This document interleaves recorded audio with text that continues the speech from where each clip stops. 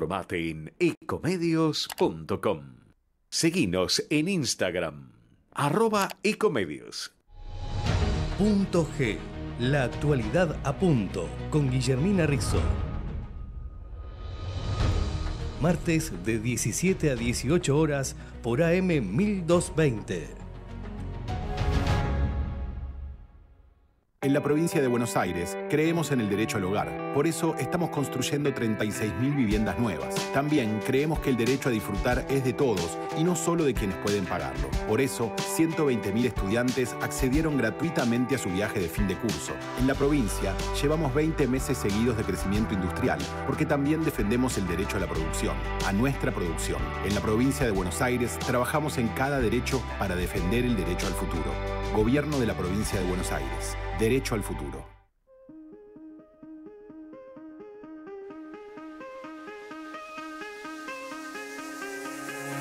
Give me reasons to doubt, try to keep me down, but I'll put the flame out. You can't get to me.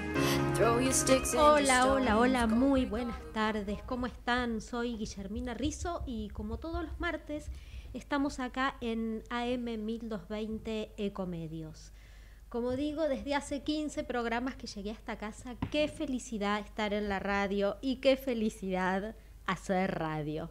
Ahí veo las, eh, las morisquetas que está haciendo nuestro operador Gerardo Subirana ahí en el control en compañía de Javier Martínez cada vez que yo digo qué felicidad hacer radio y, y es así. Estamos acá en este punto de encuentro con la actualidad y digo estamos acá porque no estoy sola, ya le doy la bienvenida, ya sumo a esta, a esta burbuja de felicidad que es hacer radio a mi compañero eh, Jorge Gutiérrez. ¿Cómo estás Jorge? ¿Qué tal, Guillermina? Muy buenas tardes, ¿cómo estás? ¿Cómo te ha tratado el frío? Me ha tratado bien, bueno, yo soy de esas personas que le gusta el frío. Igualmente hoy a la mañana eh, me alegré por ver el colectivo lleno con ese calor de pueblo. Ay, no, por favor. Em, te cuento que estamos ya prácticamente al borde de tener club de fans, porque, eh, como vos bien sabés, yo lunes y miércoles voy a un grupo de rehabilitación cardiovascular y bueno, empezó un compañero, Jorge, a escucharnos, después se sumó Soledad y así se van sumando todos, así que en cualquier momento al grupo de rehabilitación cardiovascular del ICBA lo unjo como mi club de fans, gracias de verdad por las críticas, por los consejos, por las sugerencias y por todas las palabras que nos transmiten semana a semana. Saludo a todos. Así que vamos a decir líneas de comunicación para los que no son de ese grupo y que se quieren comunicar. Y los del grupo también nos pueden saludar si quieren. El número de WhatsApp es 11 31 26 0518 11 31 26 0518 y le agregan el 54 911 para los que nos quieren escribir desde afuera del país. ¿Qué temperatura tenemos? 15 grados. Bien, bueno, acá 15 grados, casi sin Marambio. humedad. 35% de humedad, por suerte, porque si hubiera más humedad se sentiría peor el frío. Hay un vientito muy suave del sector suroeste a 5 kilómetros por hora. Y eh, visibilidad óptima, 10 kilómetros. Bueno, está lindo el día, o sea, hay un sol Sí, pleno. Hay un sol, pero eh, atención, se viene el frío, eh, a cuidarse, pico de enfermedades respiratorias vamos a tener este mes. Y, mm, y bueno, Jorge, ¿cómo está el regreso a casa? Y el regreso a casa, este es, bueno, a esta hora no hay mayores complicaciones, salvo en Libertador y la FINUR, que hay reducción de dos carriles porque hay, quemaron unos residuos, unos contenedores de residuos. En Directorio y Lisandro de la Torre hay reducción por siniestro vial. Y atención, los usuarios del tren Roca, el ramal a La Plata, está con el servicio limitado entre La Plata y Quilmes y entre eh, Quilmes y Bosques por colisión con automóvil.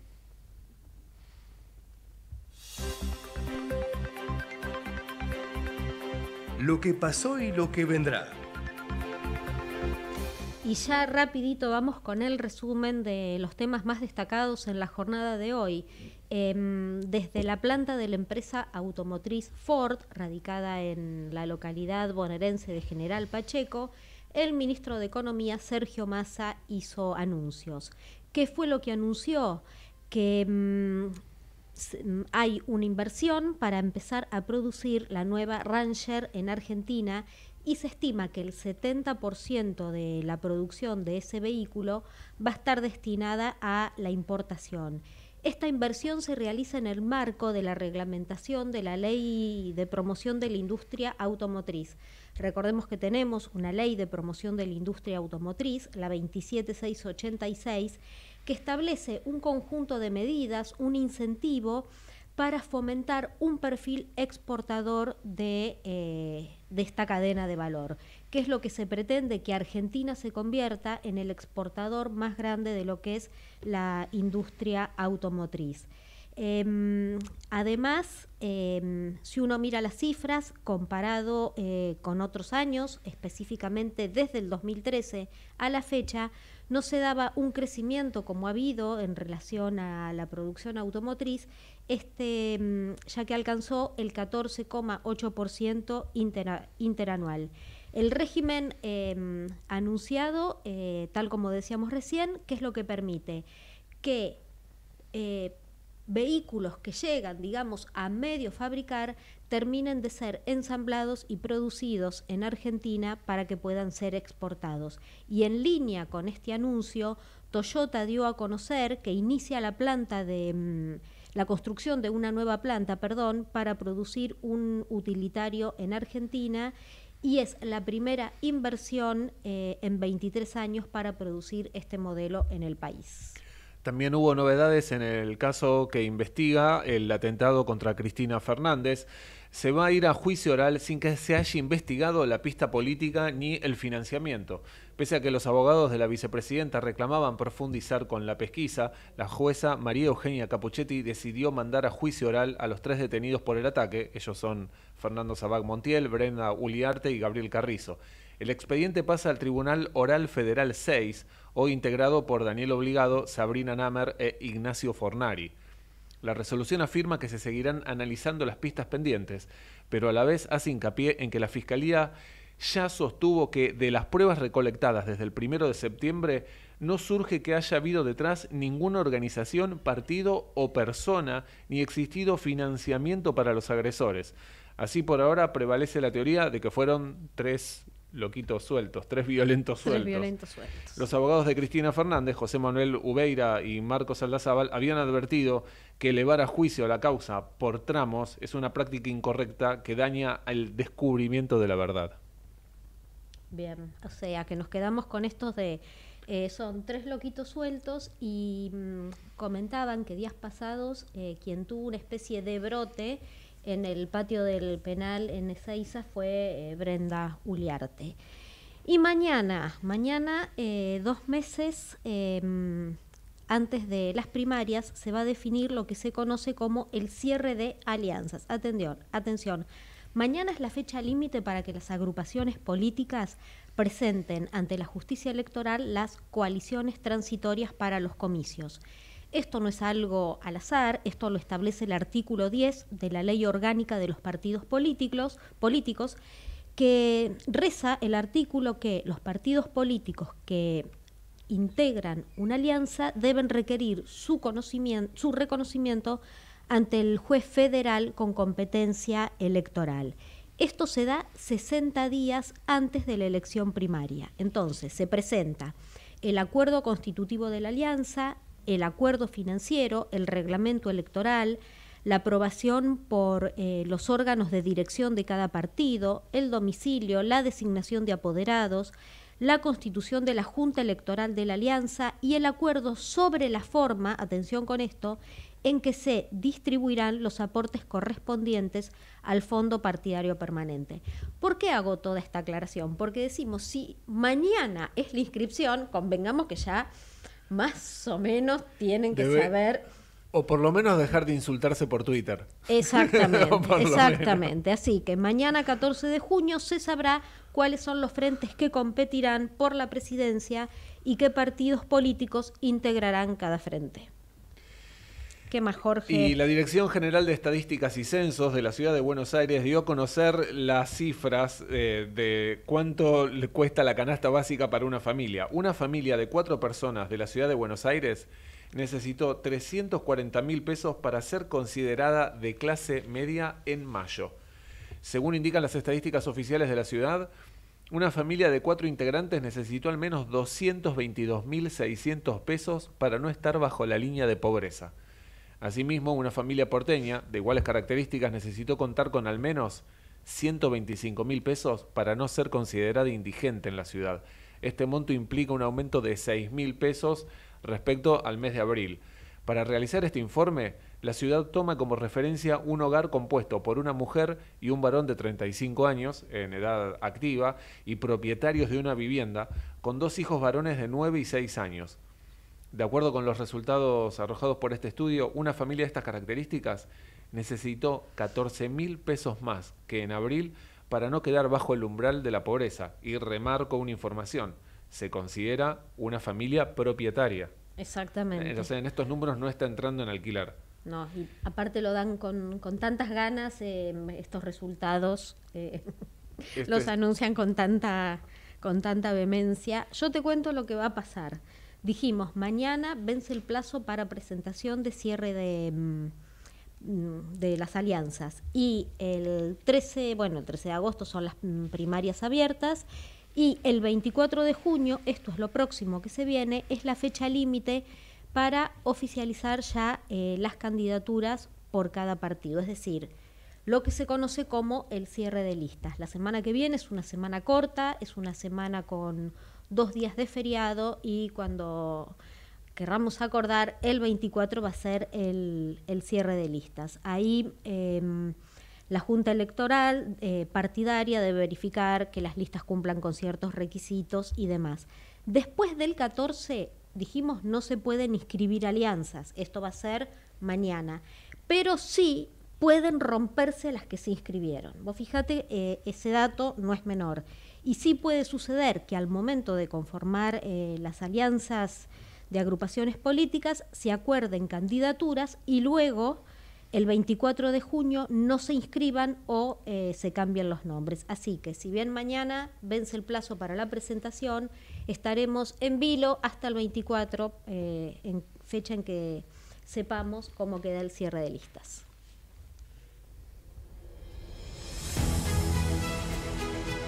Nosotros queremos saber.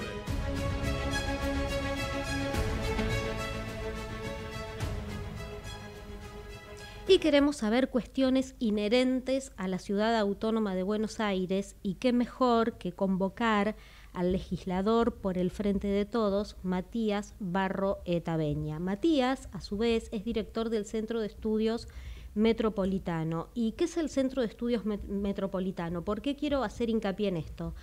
Porque está conformado por tres universidades, la Universidad Metropolitana para la Educación y el Trabajo, la Universidad Arturo Jaureche y la Universidad de Hurlingham. A su vez, hay siete municipios adheridos y 25 profesionales.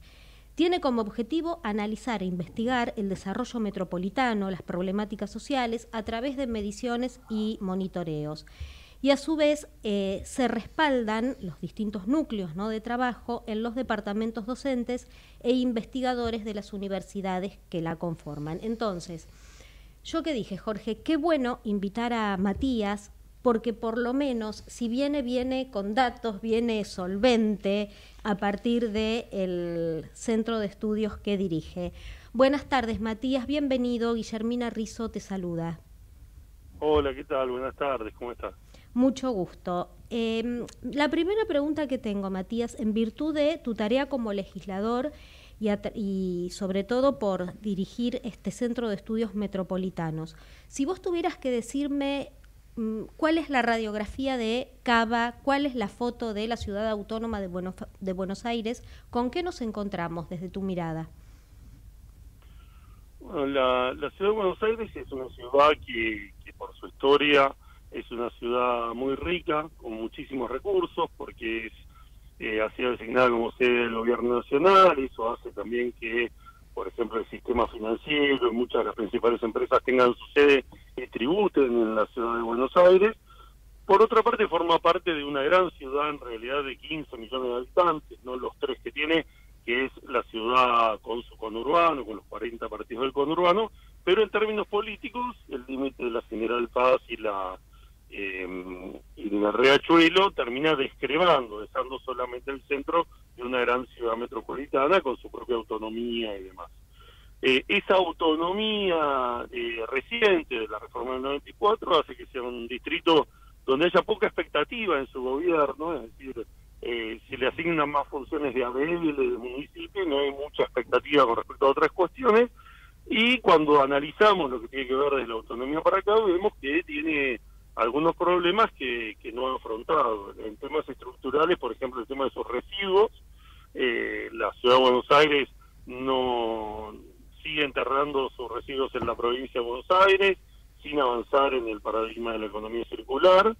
Por otro lado, en temas de movilidad no hay una coordinación metropolitana, hay una autoridad metropolitana de transporte que no que no funciona nacional y hay una mucha descoordinación en lo que tiene que ver con la visión de dos millones de personas, dos millones y medio que entran todos los días a la ciudad a trabajar, a producir y que después vuelven a los otros municipios a demandar servicios básicos.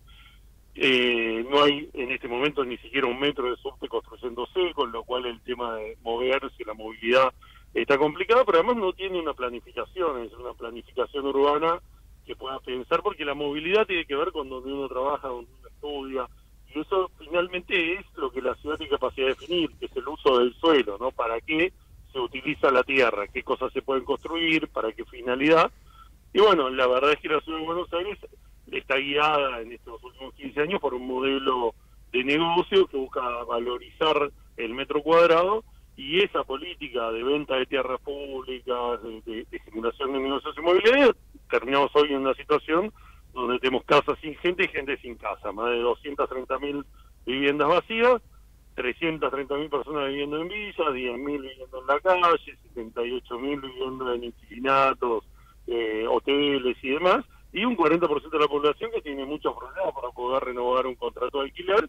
Y bueno, como decía al principio, la ciudad que tendría que tener mucha injerencia en todos estos temas, más allá de que algunos también tienen legislación nacional, está totalmente ausente y sin embargo tiene una aceptación de la población por cuestiones más vinculadas a que alguna plaza esté bien, alguna vereda que arregla y, y no ha hecho grandes obras. Matías, vos días pasados declaraste en redes sociales que los 15 años del PRO nos dejan una ciudad fragmentada, más desigual y más injusta. ¿Por qué crees que la gente durante 15 años eligió al PRO y eh, no y digamos lo, lo podría mm, llegar a seguir eligiendo? ¿Cuál es tu percepción respecto de eso? Bueno, efectivamente la ciudad, los datos de la propia ciudad muestran esa característica Decimos que hay siete años más de expectativa de vida en el norte que en el sur, que triplica o cuadruplica el número de quienes terminan el secundario en el norte que en el sur, que hay una mortalidad infantil similar a la de municipios como José Cepaz, por ejemplo, en, en el sur en la comuna 8, uno de cada tres en la comuna 8, en lo que es Lugano, y Villarranchuelo vive en una villa. Y bueno, en esa comuna, por ejemplo, ganó el peronismo en la comuna 8, con lo cual dejaron de votar por el PRO. Me parece que el PRO ha logrado, por un lado, esto que decía, la baja expectativa, con lo cual no se le asignan, se le asignan al gobierno nacional muchos de los problemas, cuando en realidad la ciudad tendría que estar accionando en eso. La ciudad, por ejemplo, podría tener un esquema de desarrollo de, empleos de calidad, con inversión científico-tecnológica, y sin embargo no hay ningún científico que sea financiado por la Ciudad de Buenos Aires. Todo eso lo hace Nación, con CONICET, con la UBA y demás. Entonces hay baja expectativa. Por otro lado, las alianzas, un presupuesto europeo multimillonario que tiene la ciudad de Buenos Aires ha permitido ir cooptando sectores políticos eh, que antes eran duros opositores, como el caso de Martín Lustó, como el caso de Carrió, que iba a elecciones con, con Pino Solana denunciándolo a Macri, el caso de Ocaña, el caso del socialismo. Él fue construyendo una alianza política que le permite quedarse con sectores eh, de centro sumados a lo que a lo que son los extremos más de derecha. Me parece que eso, bueno, ahora un surgimiento de una fuerza de derecha le está entrando en crisis eh, y, el radicalismo también está plantando ahí un modelo diferente. La radicalización hacia la extrema derecha con un candidato, hoy se murió una persona en situación de calle, ayer en la ciudad de Buenos Aires, y el principal candidato del PRO dice que son ocupas de cajeros, de, cajeros automáticos que los usan como un ambiente, o sea, hay un nivel muy duro hacia la derecha de corrimiento y bueno, nosotros tenemos la esperanza que el sector del radicalismo, que es un partido de tradición popular, abran un poco la puerta a, que se pueda construir otra alianza. Es verdad que el peronismo no es mayoría en la ciudad y necesita construir acuerdos con sectores progresistas, sectores representativos de sectores medios para poder ser una alternativa. Esperemos que lo podamos lograr en esta elección. ¿Qué tal, Matías? Buenas tardes. Jorge te saluda. Ustedes en el centro de estudios tienen un monitor de clima social. Yo quería saber qué percepción tienen los habitantes de la cuestión ambiental y habitacional en el Gran Buenos Aires. Sí, ese monitor lo venimos haciendo, el CEM lo fundamos en el año 2016 eh, y a partir de ahí todos los años hemos hecho uno o dos, eh, dos monitores. Este año todavía no lo hemos hecho, normalmente lo hacemos en el mes de junio estamos viendo si lo hacemos ahora en julio-agosto. Eh, sí hacemos algunas mediciones puntuales, de esos temas hemos medido. A ver, en el tema habitacional, lo que tiene que ver con alquileres fundamentalmente, nosotros acabamos de sacar dos informes, uno sobre alquiler asequible, otro sobre Airbnb, el alquiler temporario.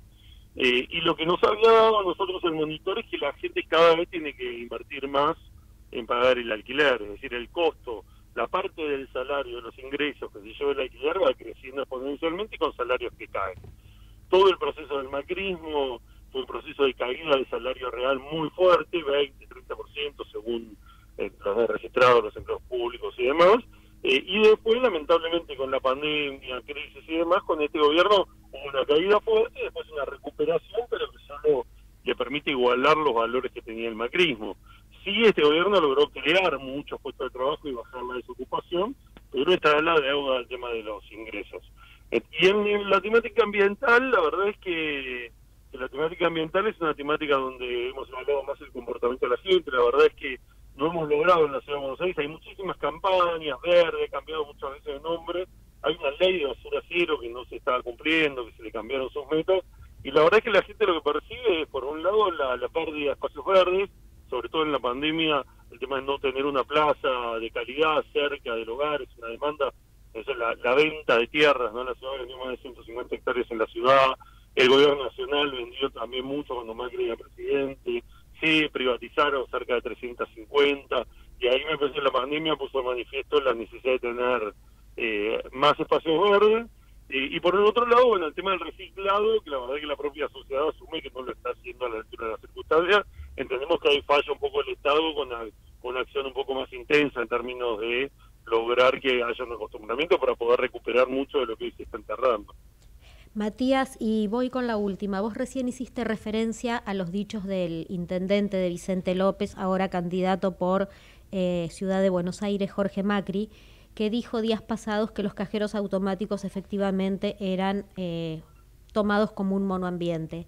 Días pasados también sale una noticia que decía cumplía el sueño de la casa propia en un portal nacional em, y iban a subasta los vagones en desuso del subte. Financiados, uno puede acceder a un crédito de Banco Ciudad. Ustedes, como contracara de estas propuestas, ¿qué están proponiendo respecto de lo que puede ser una política habitacional? Bueno, de movida, a ver, eh, hay que ir exactamente en el otro sentido que lo que está haciendo el gobierno de la ciudad. La ciudad, por ejemplo, nos vamos a reunir el jueves en la sesión de la legislatura y se le va a dar una exención impositiva a las constructoras, sin pedirles nada a cambio, sin direccionar. Es decir, la ciudad está poniendo sus bienes, sus tierras eh, y, las políticas eh, públicas, exenciones impositivas y demás, hasta el servicio de la especulación inmobiliaria. Eso ha hecho que este proceso donde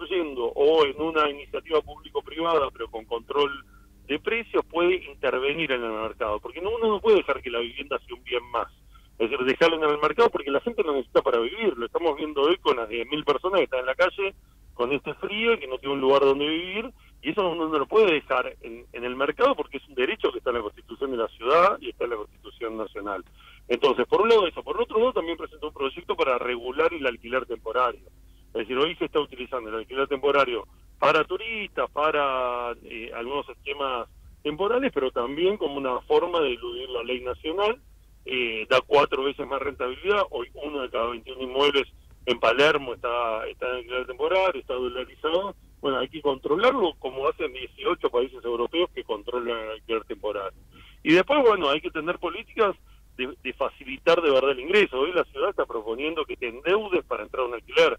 Hasta en Estados Unidos hay políticas que ponen plata para acercar a aquellos que alquilan con aquellos que están afuera. La ciudad, recién daban los números de indigencia, eh, antes de estos números tenía 254 mil personas en la indigencia. Solamente con 60 mil millones de pesos uno los podría sacar de la indigencia. Y en vez de hacer eso le estamos dando 38 mil millones a las grandes empresas en excesiones inmobiliarias gastan 1.500 millones de pesos en hacer un relevamiento de aquello que afea la imagen de ciudad limpia produciendo contaminación visual y se incluye junto con los bolquetes y la basura a las personas en situación de calle y a los recuperadores urbanos. Es decir, hay que salir de este modelo deshumanizado y poner la prioridad en que la gente pueda tener lo mínimo para comer, lo mínimo para vivir y que a partir de ahí uno pueda tener el mérito. La verdad que la desinversión en la educación pública, en la salud y demás, producen una desigualdad de origen de oportunidades que, bueno, lo principal que tenemos que dar la discusión este en las elecciones es eso, cómo se modifica el sistema en una ciudad que tiene todas las posibilidades porque tiene presupuesto, votamos 200 mil millones de millones, hoy ya con la inflación debe ser 300 mil millones de millones, vamos a terminar haciendo este año, es lo mismo que tiene Barcelona o Madrid. Hay que exigirle mucho más a este gobierno, que además pretende ser presidente, ya tuvimos dos jefes de gobierno que fueron presidentes, que les fue muy mal, justamente porque tiene muchísimos recursos y hay muy baja demanda sobre lo que están haciendo. Bien, bueno Matías, eh, un placer que hayas pasado por Punto G. Esperamos eh, en breve volver a, a, invitarte. No, muchísimas gracias a ustedes. Le mando un saludo. Gracias. Era Matías Barro Etaveña, legislador por la ciudad de Buenos Aires del Frente de Todos. Ecomedios.com AM1220. Estamos con vos. Estamos en vos. American and Merit Hoteles. Primera cadena hotelera argentina. 3, 4 y 5 estrellas. Más de 20 destinos de Argentina y el Cono Sur. Aprovecha el código promocional Puro Branding con el 10% de descuento para los hoteles Amerian Córdoba Park, Amerian Executive Córdoba, Amerian Buenos Aires Park, Merit San Telmo y Amerian Executive Mendoza Hotel hasta fin de año. No válido para fines de semana largos. American and Merit Hoteles. Hoy podemos decir orgullosos que en Vicente López tenemos las escuelas municipales más modernas y tecnológicas de Argentina. No para ganarle a nadie, para que ganen los chicos. Vivamos Vicente López. ¿Cuándo fue la última vez que te tomaste un respiro para ver un amanecer?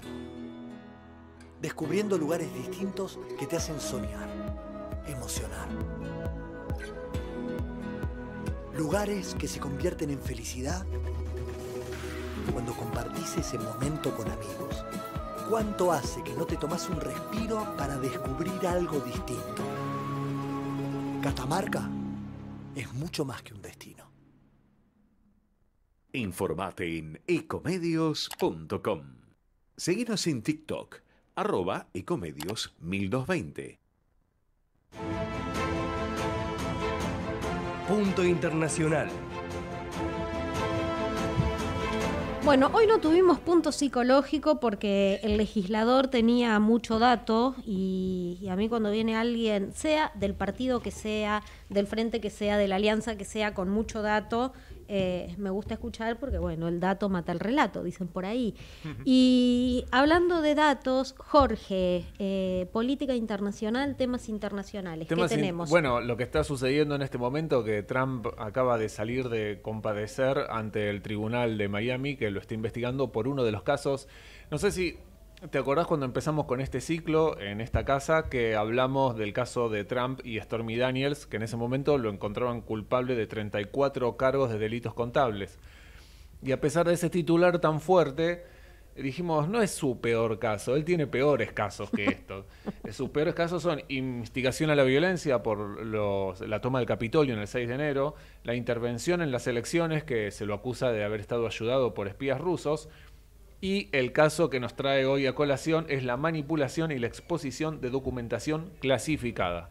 ¿Qué fue lo que ocurrió? Que este es el objetivo de esta columna, entender lo que está pasando, porque el titular lo tenemos todos. Trump se lo acusa de algo. Bueno, lo que pasó fue en el año 2021 hay una agencia que es la Agencia de Administración de Documentos de Estados Unidos, que es la que lleva un registro de toda la documentación que se genera en la Casa Blanca, que tiene que quedar en la Casa Blanca. Cuando termina el gobierno de Donald Trump se dan cuenta, nos están faltando documentación. Faltan unos papeles. Faltan papeles, señor. ¿Qué, ¿Qué ha ocurrido? Se la reclaman a Trump y en enero del 2022 recuperan 15 cajas con documentación, dentro de las cuales había información reservada. ¿Y dónde estaban las cajas? Y las cajas las tenía Donald Trump. Ahora, ahora, viene, ahora viene la segunda parte. Ah, esto es una novela, por eso. por eso. Seguía faltando información. Entonces, en agosto allanan la mansión Mar-a-Lago en Palm Beach, eh, de, en Florida, la mansión de Donald Trump. Y ahí eh, confiscaron 33 cajas en las cuales había 300 documentos, algunos ultra secretos. Sí. ¿Qué información había ahí? Bueno, había información militar. Ya no son ultra secretos. Entonces. Bueno, yo no lo sé. No sé lo que hay. Por lo menos para mí lo es. Bueno, ya no es ultra secreto. Claro, efectivamente esto es lo que está pasando. Era información muy sensible porque era información de armas nucleares. Información de, bueno, información militar de, las armas con las que disponen, pero no solo de eso, sino también de estrategias, de, de políticas defensivas. Sí. Y no solo de Estados Unidos, sino también de otras potencias. Bien. El problema está en que no solo las tenía Donald Trump en su casa y eso era documentación que no debía salir de la Casa Blanca, sino que también se la mostró a personas que no estaban autorizadas a verle esta información.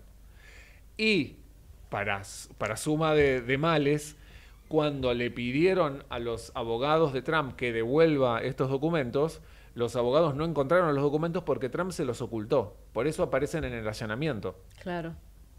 Así que efectivamente el fiscal federal Jack Smith por todo esto lo acusa de 37 cargos por poner en riesgo documentación altamente clasificada y por poner en riesgo la seguridad de los Estados Unidos al haber ocultado toda esta información a los investigadores.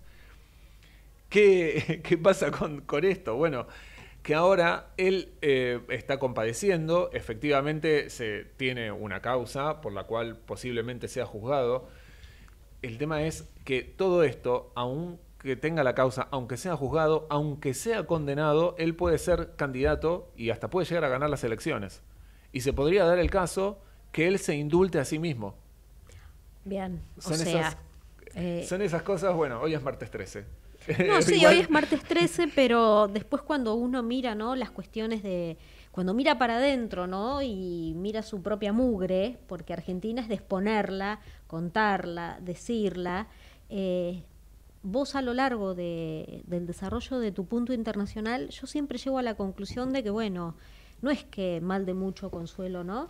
No, pero, en todos lados se cocina la misma sopa. Exactamente. Y aprendamos del, o sea, dicen que uno es sabio cuando aprende, no, como es, uno es inteligente cuando aprende de sus errores, pero es sabio cuando aprende del error ajeno. Mira, en, eh, en el máster de, comunicación política, yo no me olvido más porque dije, wow, hubo una profesora que dijo, la corrupción es inherente a los sistemas políticos. Si vos decís, yo quiero buscar un sistema político que sea 100% transparente, y bueno, por allí puede ser Dinamarca, los tres o cuatro países que sabemos siempre. El otro día hablamos de la tabla de corrupción y es muy difícil de construir ese modelo. Claro.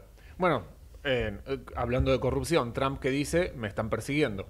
Me persiguen porque yo puse en jaque sistemas que están en, el entramado político de esta nación, dijo que esto es el principio de la, de la caída de Estados Unidos y tildó su situación de cacería de brujas. Lo propio hicieron los otros candidatos republicanos. Recordemos que en este momento eh, hay una interna republicana entre los cuales los favoritos son Trump y Ron DeSantis, que es el gobernador de Florida, que dijo la justicia no fue tan severa con Mike Pence, que, es el, que fue el vice de Donald Trump, ni con Joe Biden, el actual presidente, que hicieron exactamente lo mismo. Y desde la justicia le respondieron no, no fue exactamente lo mismo, porque está bien, ellos se llevaron documentación eh, confidencial, pero cuando se la pedimos la devolvieron. Claro. No, no como Donald Trump que hasta lo negó. Igualmente Ron DeSantis, ahora que tiene a Messi próximo a llegar en julio y que se va a producir la Messi manía en el Estado, eh, bueno. bueno. y estas persecuciones a Trump siempre le sale el, el, daño colateral, les es favorable porque volvió a subir en las encuestas, volvió a subir en la recaudación en su campaña. Y esto es para largo. Recién hoy estábamos viendo cómo salió de comparecer ante el tribunal, que por supuesto dijo que él es inocente me llamó la atención que dijo no culpable. No culpable, claro, not guilty. Sí, me hizo acordar a eh, Cobos cuando dijo no positivo, viste el no por delante. Eh, usó la misma construcción lingüística. Situación similar denuncia Gustavo Petro en Colombia. Petro dice que a él también lo está persiguiendo la justicia porque se conocieron unos audios entre Laura Sarabia, que es su ex jefa de gabinete, y Armando Benedetti, que es el ex embajador en Venezuela de Gustavo Petro, que eh, Benedetti amenazaba a Sarabia diciéndole voy a dar a conocer los financiamientos ilícitos en campaña, como queriéndole amenazar a ella que puede llegar a terminar presa. Bueno, pero terminó saliendo muy mal esto porque ahora justamente la oposición está reclamando un juicio político a Gustavo Petro. En su defensa hubo una movilización este domingo en la carrera séptima de Bogotá hasta la Plaza de Bolívar, en la que participó el propio Gustavo Petro. Dijo que él está sufriendo una campaña de desestabilización por parte de sectores judiciales y se avecina un golpe blando como el que sufrió Castillo en Perú. Y esto va a terminar con que Colombia va a tener un presidente que no fue elegido por el pueblo. Esta fue la declaración de Gustavo Petro. A esto se hizo una solicitada con 400 líderes del progresismo internacional que la firmaron, entre ellos estaba Baltasar Garzón, Noam Chomsky, Pérez Esquivel, Rafael Correa, eh, Díaz, eh, er, perdón, Díaz Rodríguez Zapatero. Sí. Y eh, lo que él dice es, en realidad me están persiguiendo porque yo estoy impulsando reformas profundas en el sistema colombiano. Las reformas son en el sistema de salud, crear un sistema de atención primaria y preventiva en todo el país, en la laboral, o sea, reglamentar jornadas de 8 horas, una mejor paga en los trabajos nocturnos y equiparar eh, los sueldos de mujeres con hombres. Una reforma previsional para universalizar la cobertura, que hoy de uno de cuatro colombianos tiene cobertura previsional. Eh, regular más los servicios públicos y hacer más accesible la educación superior. Bien. Por todo esto, Gustavo Petro dice que lo están persiguiendo, así que bueno, estamos siguiendo esto, lo que está pasando en Colombia. Te doy una perlita internacional para que veas que yo también hago tareas internacionales. Te enteraste, Brasil, a partir de noviembre entra, mm, eh, digamos, en periodo de prueba eh, la jornada laboral de cuatro días a la semana. Muy Acá en Argentina ya están diciendo, bueno, a ver si eh, toman nota, si hay un proyecto de ley, pero no creo que este año en plenas elecciones se llegue a tratar, pero bueno. Bueno, y para los que no se enteraron hasta ahora, murió eh, Silvio Berlusconi a los 86 años, polémica figura, pero que supo, supo bailar el poder. La verdad es que eso hay que reconocerlo, más allá de sus polémicas. Punto cultural. Y de las noticias internacionales vamos a la cultura y ya recibo a nuestra querida locutora nacional y periodista encargada de temas culturales, Salomé Aneo. Buenas tardes, Salomé, ¿cómo estás? Hola Guille, buenas tardes. Siempre es muy lindo charlar con vos y traerle, bueno, a la audiencia eh, los eventos a los que se pueden acercar. A ver, eh, ¿qué tenemos? Que tenemos eh, fin de semana extra large. Eh, sí, sí, sí. Yo te voy a pasar un poquitito como para la semana, fin de semana. Cada uno puede elegir a dónde acercarse porque de hecho te traigo actividades y eventos que son em, gratuitos. Por ejemplo, em, en la rama de, del teatro, de la rama del teatro, bueno, no, primero te voy a pasar a la música. Vamos con la música. Vamos en orden, vamos en orden. Eh, todos los jueves de junio, esto es en la sala Piazzola del Centro Provincial de las Artes Teatro Argentino, que esto es en La Plata, en la eh, calle 51, entre 9 y 10, se está llevando a cabo el ciclo Jueves Vivos. Eh, es eh, un ciclo que lo impulsa el Instituto Cultural de la Provincia de Buenos Aires y se realiza todos los jueves del mes de junio. Este jueves, 15 de junio a las 20 horas, se va a estar presentando el músico, guitarrista y compositor Richard Coleman y la cantante y compositora Mariana Michi. Eh, esto va a ser este jueves a las 20 horas. Y como te dije anteriormente, la entrada es eh, libre y gratuita, eh, se obtiene a través de la web del Teatro Argentino y como dato importante, todos los martes desde las 10 de la mañana empiezan a, habilitarse los formularios para la reserva de la entrada para el recital del jueves próximo. Así que hay que estar atento porque si uno quiere ir, eh, no sé, el jueves 15 o el próximo jueves, que los martes a las 10 de la mañana se habilitan los formularios para la reserva de entrada. Bien, ¿cómo viene La Plata? Porque acaba de celebrar el Mundial Sub-20 y bueno, ahora eh, los jueves con toda esta movida cultural. Sí, mira, Jueves eh, Vivos es un ciclo de música bonaerense. Esto está a cargo del Instituto Cultural de la Provincia de Buenos Aires, como te comenté anteriormente, em, y el objetivo es em, enlazar artistas de, grandes trayectorias con otros que recién están como iniciando sus carreras, así con, con esa posibilidad de eh, llegar a, diferentes públicos variados, porque aparte lo que eh, la, la, música a la que se los, los géneros a los que se llega son variados también, porque tenemos un poco de tango, un poco de folclore, eh, un poco de pop, de rock, es decir, eh, hay variedad como para todas las edades y em, que pueda atraer a diferentes públicos. Em, el jueves 22, en este mismo ciclo, se va a estar presentando Julieta Lazo, que va a estar acompañada por eh, Juanito el Cantor, y el jueves 29 se presenta Rita Cortese junto a Irupeta Ragorros. Eh, así que bueno, ya te voy dejando el dato para, para la próxima, para los próximos eh, jueves. Bien, y recordemos que se tienen que inscribir los martes. Los martes, sí, los martes tienen que estar atentos a, la web de, del teatro porque eh, a las 10 de la mañana ya se habilitan los formularios Perfecto. para la reserva de entrada. Siguiendo un poco con lo que nos trae el Instituto Cultural de la Provincia de Buenos Aires, me voy a el ciclo Café Cultura, en La Matanza, que esto es una articulación con el municipio de La Matanza.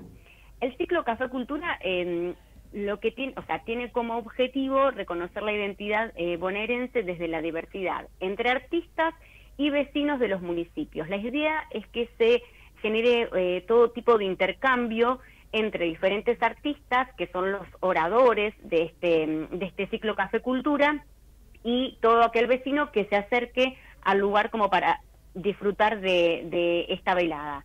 La actividad em, está pausada para este jueves también, este jueves 15 a las siete y media en el Teatro Municipal de Opoldo Marechal, esto es en Belgrano el 75 en Ramos Mejía. Y las entradas para, para esta nueva edición de Café Cultura también son libres y, gratuitas.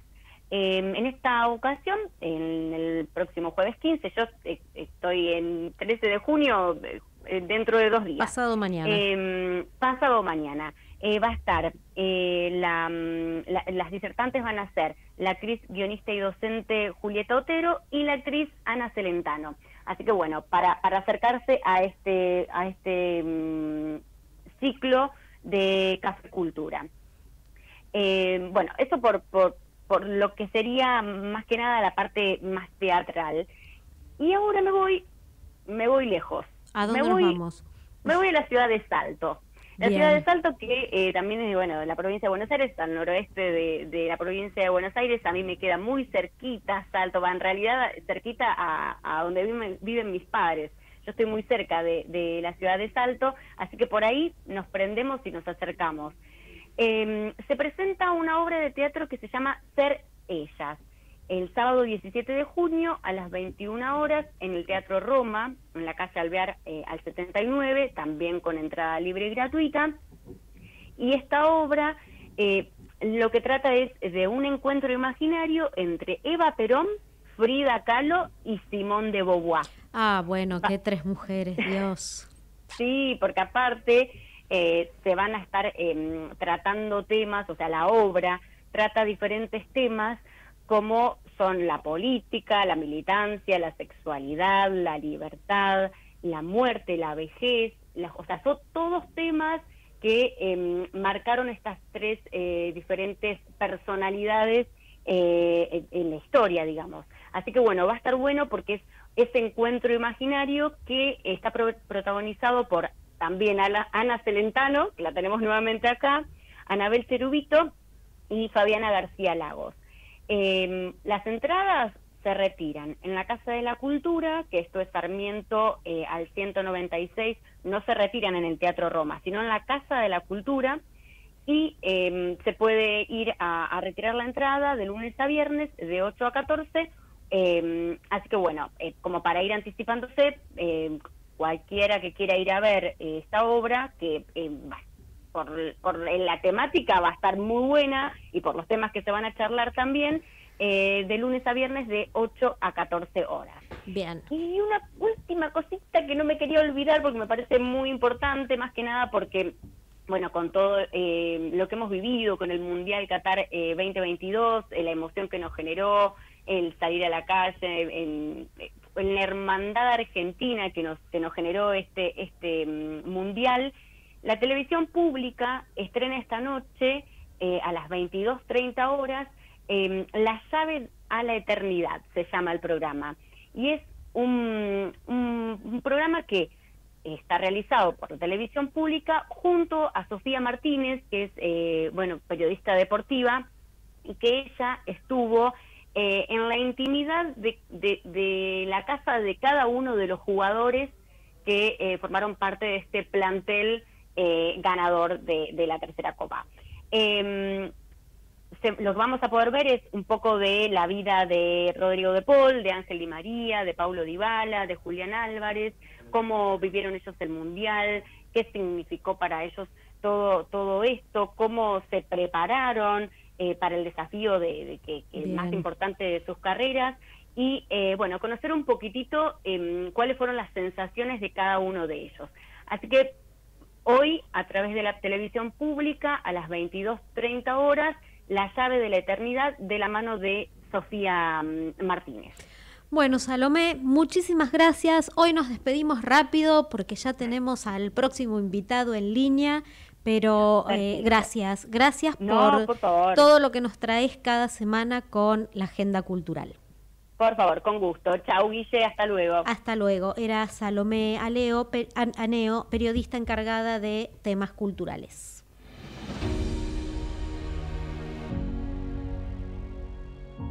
Punto Solidario.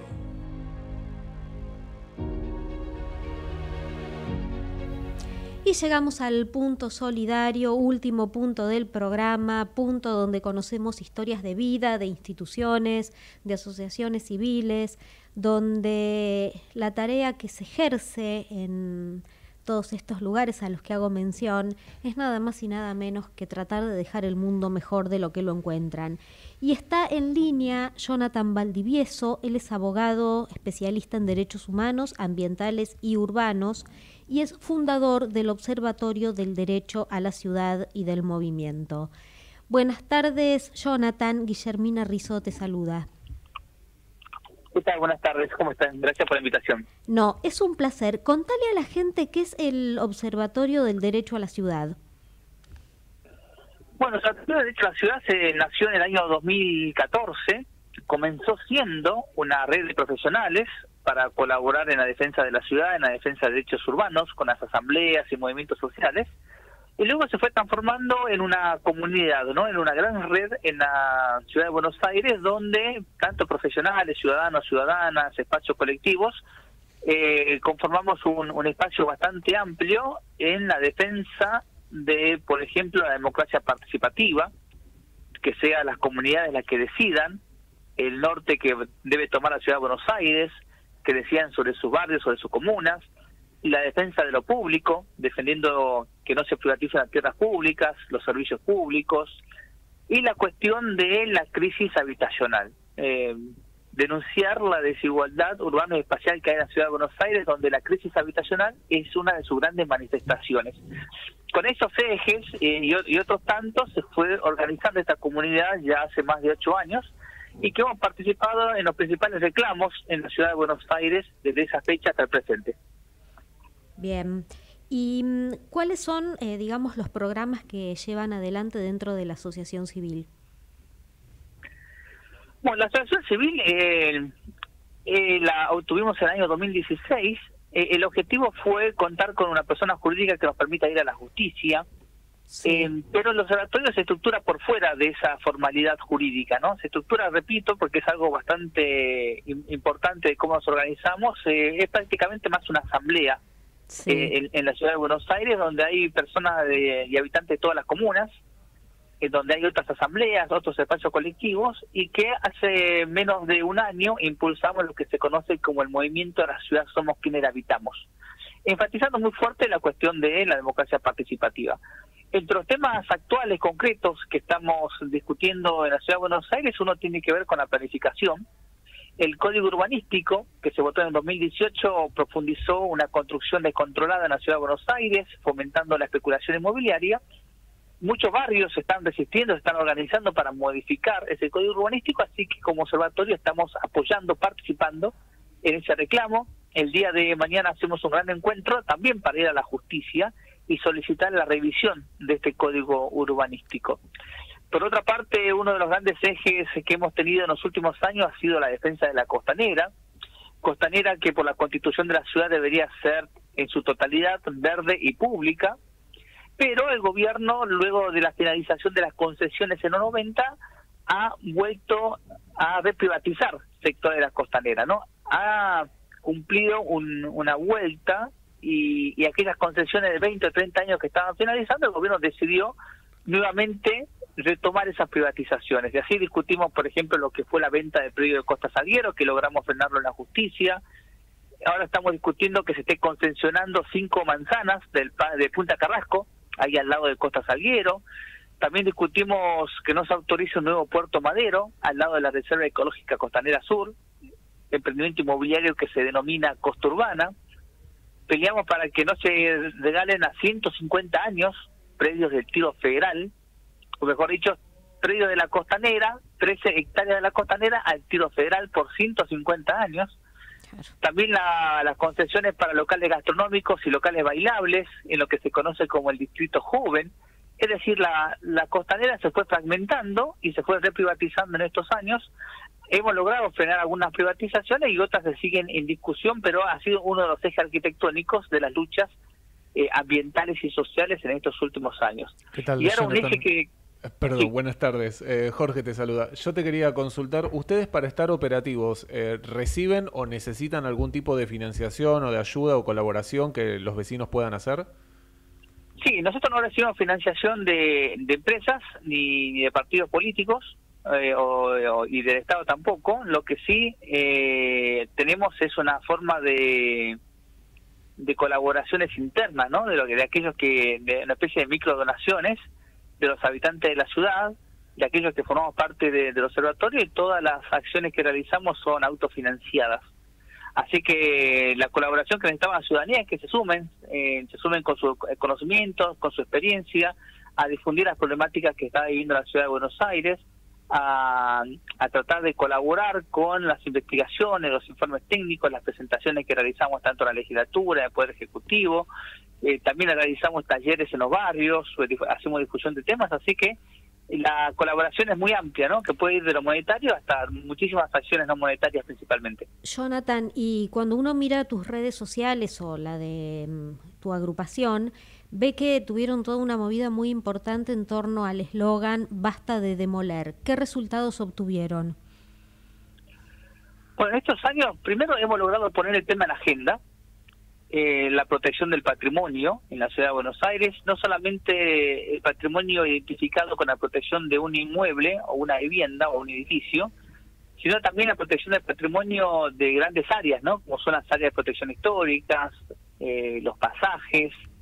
Logramos que el Código Urbanístico siga respetando estas áreas cuando se discutió en el 2018. Hemos logrado frenar algunas obras que rompían la identidad de estas áreas protegidas porque no cumplían la planificación de la ciudad. El caso paradigmático es el edificio Astro San Telmo, aquí en la avenida Bolívar y, Casero, donde estaban construyendo el doble de la altura permitida en el casco histórico de la ciudad de Buenos Aires.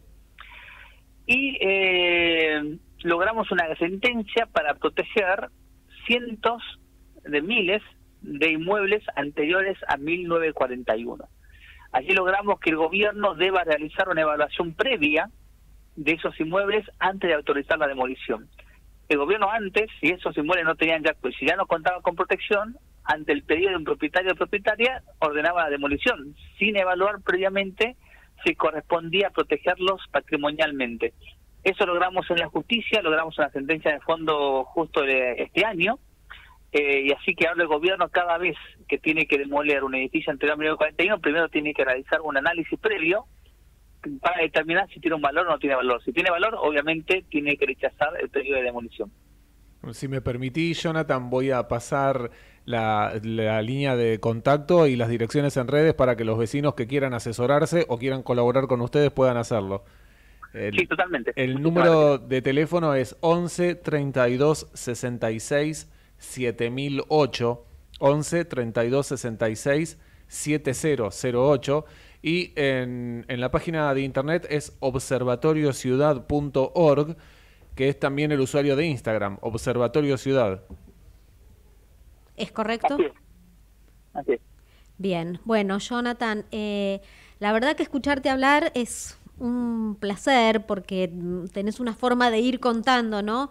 Los logros que no son menores, porque conservar el patrimonio, uno cuando a veces veía que tiraban abajo una construcción y decía no solo eh, la arquitectura, las historias, ¿no? Todo lo que, lo que se eh, iba a demolición era mucho más que una pila de ladrillos. Así que la verdad que, bueno, gracias por la tarea que saludan, que mm, realizan y gracias por haber pasado por Punto G.